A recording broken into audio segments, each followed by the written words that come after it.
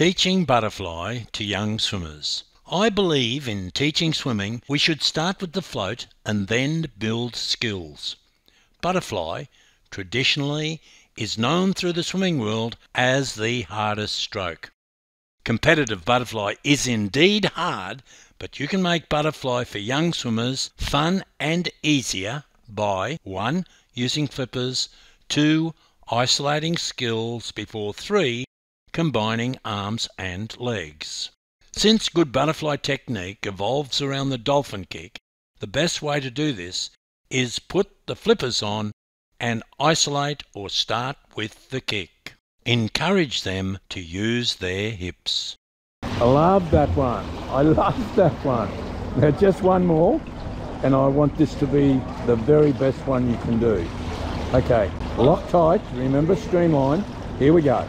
Young children love the freedom that comes with using flippers. They go fast. This excites and encourages them. What happened? All right, you you got to keep your breath, get a breath as you're wriggling. Right, come on, we'll do this last one properly. Come on, we'll do this last one. Remember, when you come up, you don't stop to breathe. Okay, here we go. When teaching them, play games. Have them kick on their tummy, kick on their back, kick left side, kick right side. Emphasize the fact that 1.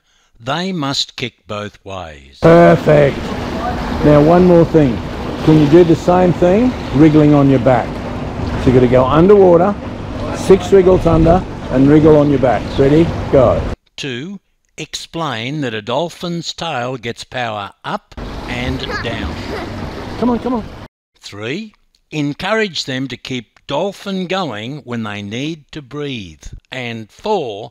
Tell them a dolphin doesn't stop its tail when it comes up to breathe. Very happy that you put your hand back there so you wouldn't hit your head. But I want you to lock your arms on your ears for your six underwater I think kicks. it's on. Right? I think it's on. It is important to get the dolphin skill perfect. To do this, you must repeat the skill over and over. Keep correcting because incorrect skills will be hard to break if they are allowed to create and strengthen bad muscle memory. Praise good work. Remember, the standard you walk past is the standard you accept. I like doing dolphin kick on the back to help teach the child to kick both ways. Emphasize, to go fast, you must kick up and down and you must get your hips wiggling. Floating butterfly. Floating, elbows up, pull under your tummy, pull under your tummy, push back. That's a good pull, but now I want to see your arms come over the top. So you push right back and get your arms over the top. Let's go. Float, float, push back. Okay. It can be better. I want you to float. I'll show you. Arms start level with the shoulders. One, two, three. Eh, that was very good, Harper. But now, for butterfly, your arms have to come over the top of the water, not back under the water. So let's go up there and we'll do it again. Here we go. Floating butterfly.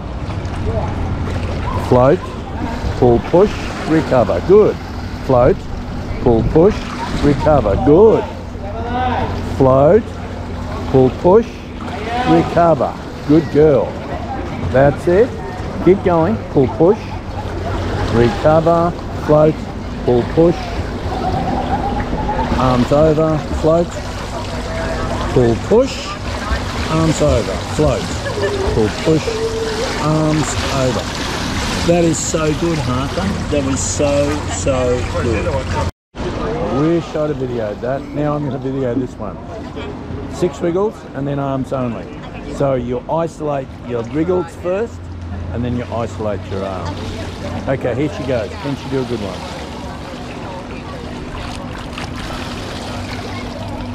So get the wriggle happening. And now it's just arms over recovery. Let's watch this. Pull, push, recover. That's it. Pull, push, recover. That's exactly what I want. So in butterfly, you really need to isolate the skills when you're teaching kids butterfly.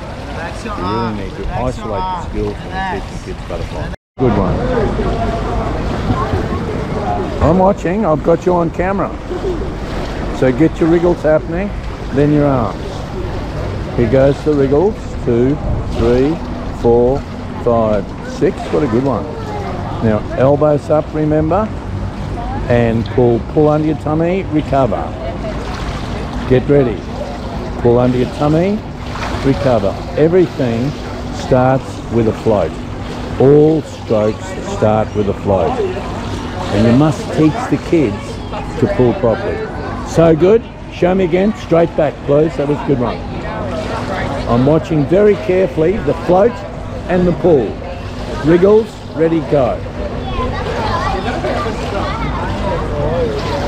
Good wriggles underwater. She's getting the feeling of the rhythm. Now she just gets the feeling of the pull.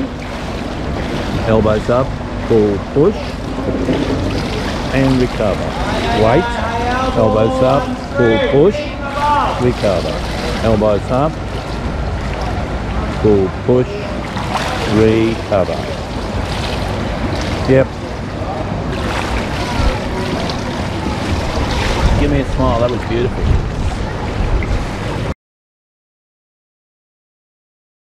This time hands in front, fast wriggles, make sure your bottom comes out of the water.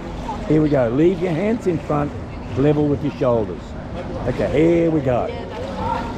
This is the entry position with the rhythm happening. The entry position, level with your shoulders, bottom up, bottom up, bottom up, bottom up.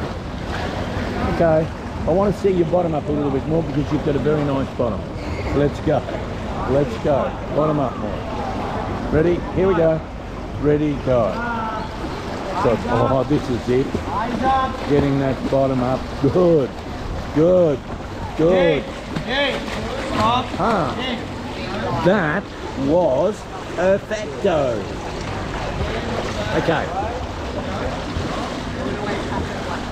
Butterfly full stroke. Now, this is the hardest thing.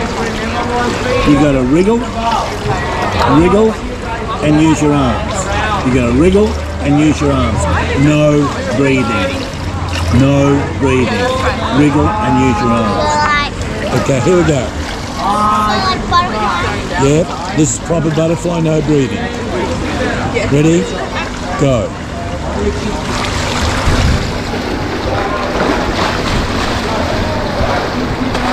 So all of a sudden, ah, not quite, that's, but it's getting better. That's your first time. That's your first try, so it's pretty good. Okay, move over. If you need to take a breath, you're allowed one breath in the length. So it's fast wriggles, fast wriggles, arms over. Okay, you ready? Here we go.